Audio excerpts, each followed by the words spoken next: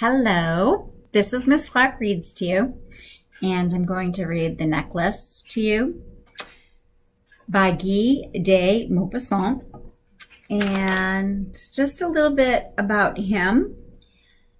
He lived from 1850 to 1893.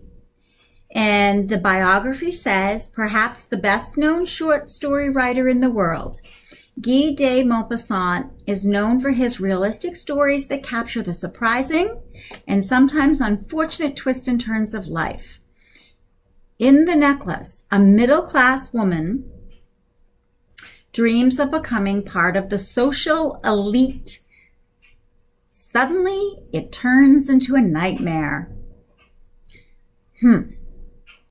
Maupassant was raised in northern France. As a young man, he served in the Franco-Prussian War, gathering experiences that would later appear in some of his stories. When the war ended, he took a job as a government clerk and devoted his spare time to writing. Maupassant became a literary apprentice of the well-known writer Gustave Flaubert, who introduced him to other illustrious writers of the day. Although Maupassant became quite well successful and wealthy. His later years were shadowed by ill health and depression. So, the literary focus for this is the theme. Um, and one of the things that you may take note of is that this story will have an ironic ending. So irony, situational irony, is the opposite to what we expect. So we're going to watch how the characters expect one thing and the opposite occurs. Now, the way I will tackle this is I will read and teach and then probably make this into two videos. I will be addressing the elements, the literary elements as we have done before. And I'll be making connections along the way. She was one of those pretty, charming young women who are born, as if by an error of fate, into a petty official's family. She had no dowry. A dowry is property that a woman brought to her husband at marriage. That was very traditional um, in this time period that and even it happens today to some degree um, in relationships in general when you get married you bring your property and then your pro- it's dual owned after you get married whether it's a, a house or land in this case, a dowry in the 1800s may have been a significant amount of money, possessions, jewels, but she has nothing. She had no hopes, not the slightest chance of being appreciated, understood, loved, and married by a rich and distinguished man. That was, that's what she wanted. She wanted to marry someone rich. So she slipped into marriage with a minor civil servant at the Ministry of Education. So the word slipped is beautiful here because it shows that it, when you think about a slip, it's like a fall. Nobody really wants to fall. It's an accident.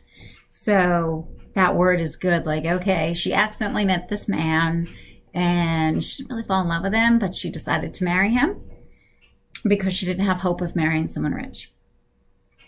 Unable to afford jewelry, she dressed simply, but she was as wretched as a déclassé, which is a lowered in social status person. For women have neither caste nor breeding. In them, beauty, grace, and charm replace pride of birth. Innate refinement, instinctive elegance, and suppleness of wit give them their place on the only scale that counts. And these qualities make humble girls the peers of the grandest ladies. She suffered constantly, feeling that all the attributes of a gracious life, every luxury should rightly have been hers. The poverty of her rooms, the shabby walls, the worn furniture, the ugly upholstery caused her pain. So when she looks at her old couch and she looks at you know, her worn, worn out walls that maybe the wallpaper needs to be painted. she feels depressed. And it says it causes her pain, like that physical pain that is heightened because you're so sad. All these things that another woman of her class would not have even noticed tormented her and made her angry.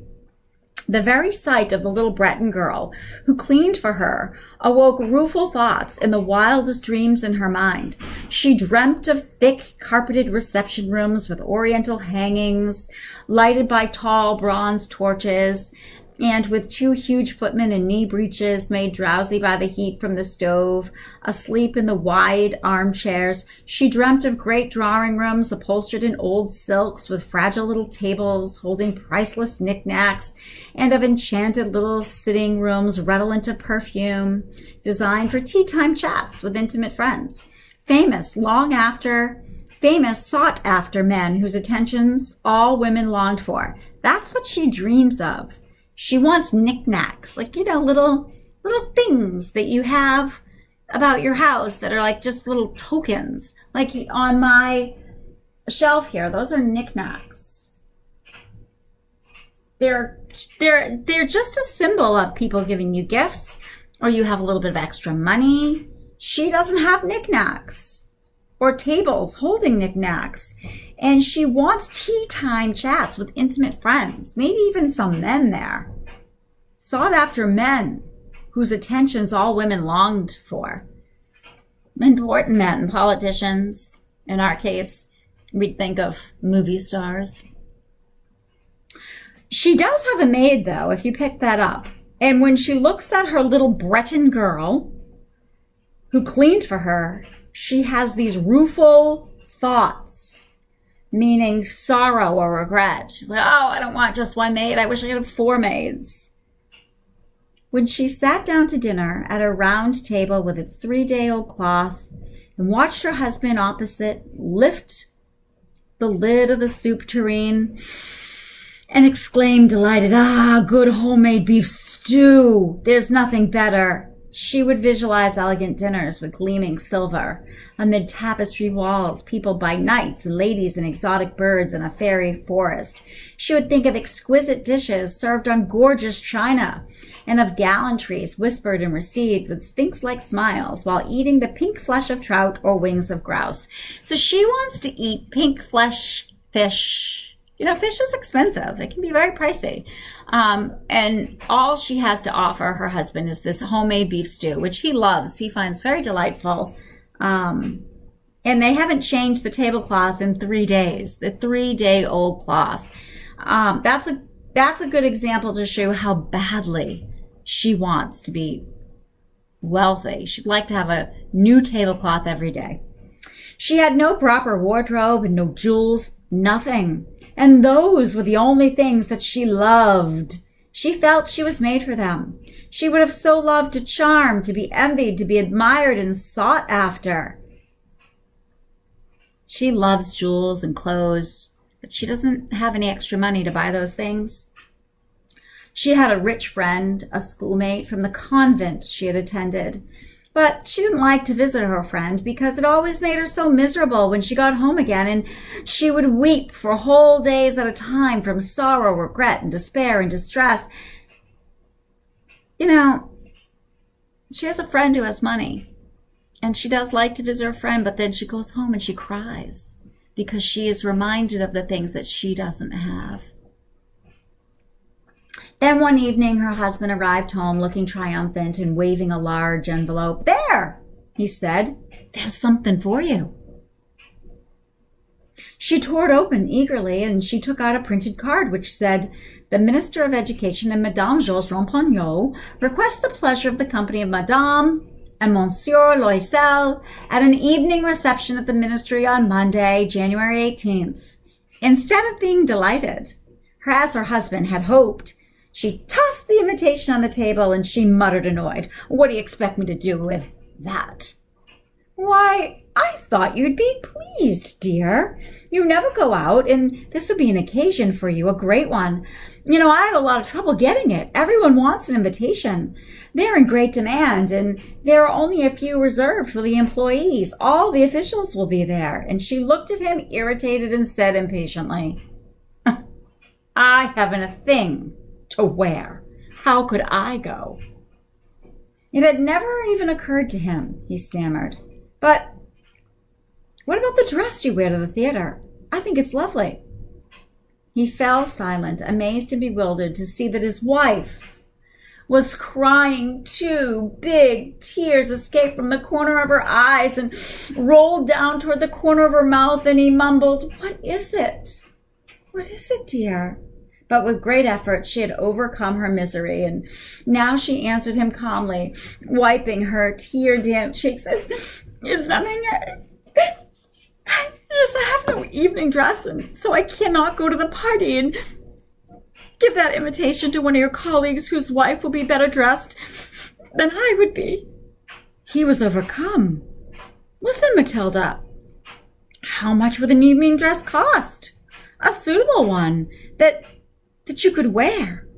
Maybe on other occasions, something very sim simple. So let's do a quick um, um, analyzation of what we've got here for the plot details. So we've got, um, just move, I have a couple boxes here, excuse me. So I have, uh, we have Madame Lo uh, Loisel, also known as uh, Matilda. We have her husband, Monsieur Loisel. And then we have, um, you haven't met her yet officially, Madame Forestier. This is uh, Madame Loisel or Matilda's best friend, the rich friend. We are in France. It is the early, uh, I would say mid I would say the mid 1800s.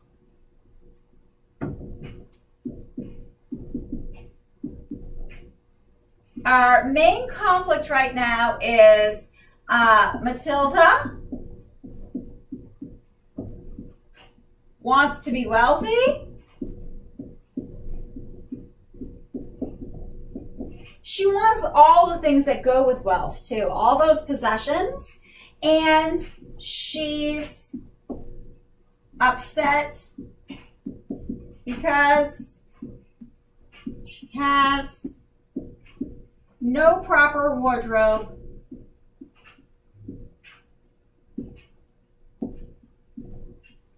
for the ball. Now, the first rising action detail is uh, her husband asks how much do you need to get a new dress? Okay, so this is a rising action. How much to get new dress? Okay. All right. So I'll read another paragraph or two, and then I'll stop the video, and then I will read um, the second part of the story. She thought for several seconds, making her calculations, and at the same time estimating how much she could ask for without elicit eliciting an immediate refusal and an exclamation of horror from this economical government clerk. Hmm. At last, not too sure of herself, she said, You know, it's hard to say exactly, but I think I could manage with 400 francs. He went a little pale, for that was exactly the amount he had put aside to buy a rifle, so he could go hunting the following summer near, near Nanterre with a few friends who went shooting larks around there on Sundays. However, he said, Well, all right then. I'll give you 400 francs, but try to get something really nice. So this right here shows you how, how much her husband loves her. He's willing to give up the money he was saving to buy himself a, a, a gun, a rifle to go shooting, go hunting with friends, um, so that she can just buy a dress for one evening, one evening's ball. So we'll stop there and we'll come back and we'll look at the rest of the story. And I look forward to reading to you and I hope you're doing really well. Thank you.